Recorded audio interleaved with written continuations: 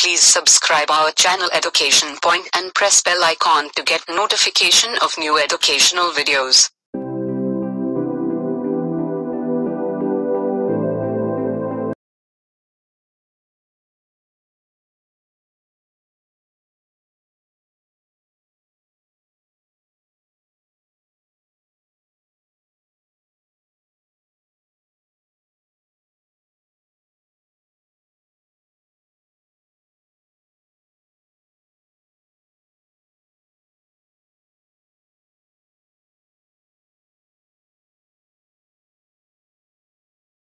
Hello everyone, you are all welcome to lecture number 246 and today I am going to discuss about SPD and F block elements in periodic table.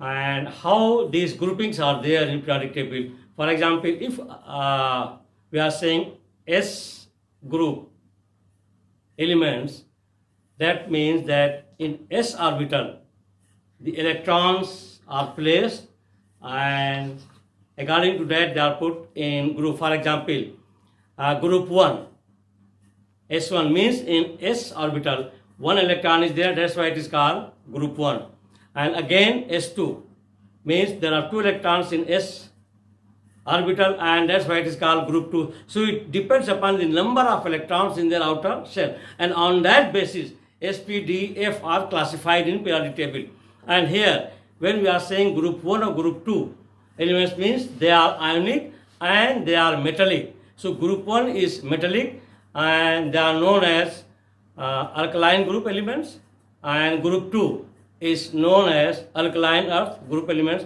and they keep positive charge. They have uh, high tendency of losing the electrons and forming uh, the ions which carries positive charge. And that's why it is uh, called metallic group. And the others are P, D and F block elements because in those those uh, orbitals P orbitals uh, D orbitals and F orbitals they are uh, incomplete and in their outer shells in their P outer shells those electrons are uh, incomplete. That's why they are known as uh, SPDNF electrons in periodic table. So here I am giving one by one SPD and F block type of elements in periodic table. We can classify elements into four blocks in periodic table uh, depending on the type of atomic orbitals which are being filled with electrons. We notice two exceptions in periodic table. These two exceptions are helium and hydrogen. Helium is having two electrons in S, means its orbital is complete. So it can be put in, uh, it has P uh, character and in noble gas. And hydrogen is having one electron in S shell. So that's why it can be put in group 1 if it is losing one electron. But at the same time, if it is gaining one electron, then it can be put in 17 group with uh, we can say uh, most electronegative group. So this, these two exceptions are there in periodic table.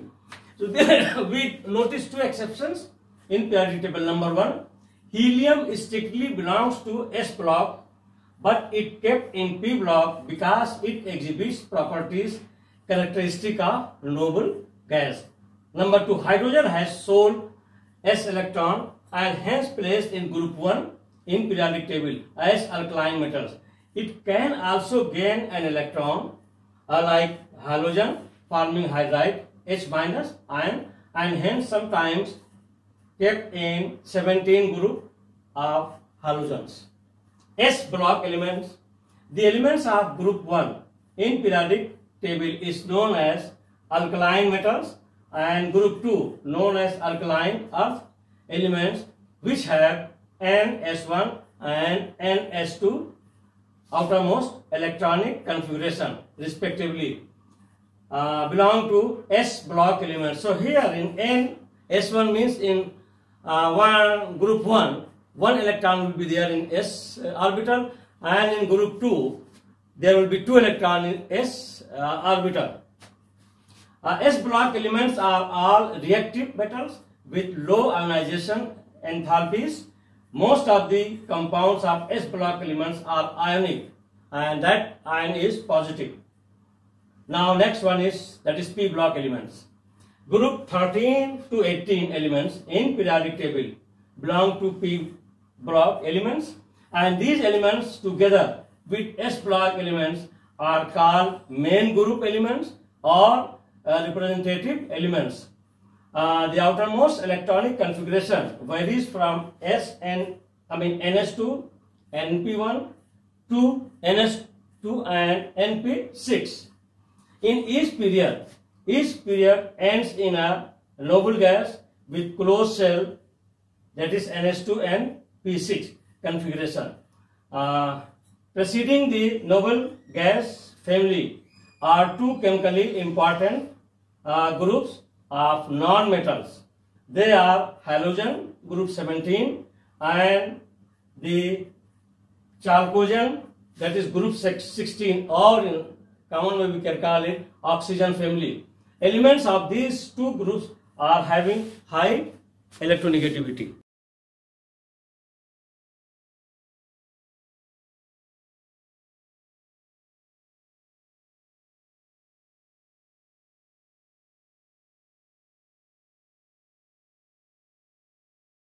So next is that is uh, D block elements and they are commonly known as uh, that is uh, trans elements.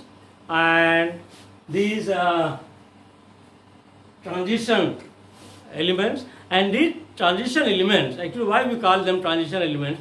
Because they are between most electropositive and most electronegative that is uh, group 1 2 and group 17 they are all metallic but they are not that much electropositive or that much electronegative. That's why they are known as uh, transition elements. And they start from uh, that is uh, number 12 uh, number 3 to uh, number 12 so d block elements that is transition elements. Uh, these are the elements of group 3 to 12 in the center of periodic table. You might have noticed that period and group and where there is 17 and 8 group and in between uh, there is space in center that is called uh, transition elements. And periodic table these elements are characterized by the filling of inner d orbitals by electrons and therefore called d block elements. D block elements have outer configuration n1 uh, d1 to 10 and n0 to 2 they are all metals uh, zinc cadmium and mercury which have n1 uh, d10 to and s2 configuration and do not show the properties of transition elements. Number four, transition elements form a bridge between chemically active metals of S block elements and the less reactive metals of group 13 and 14 and thus named as transition elements. F block elements. Number one, two rows of elements at bottom of periodic table. Called lanthanoids that is Ce58 to Lu 71 and actinoids. Actinoids mean they are radioactive. From TS thorium 92 Lr 103 are characterized by the outer electronic configuration N2 F1 to 14 and 1 uh, D2 to 2 and S2. Number 2. Last electron added to each element in the F electron is an F electron. These two uh, series are hence called inner transition elements. Number three, inner transition elements are all metals. Actinoids are all radioactive. Number four, elements coming after uranium 92 are all called transuranic elements. So with this I will stop. Thank you very much.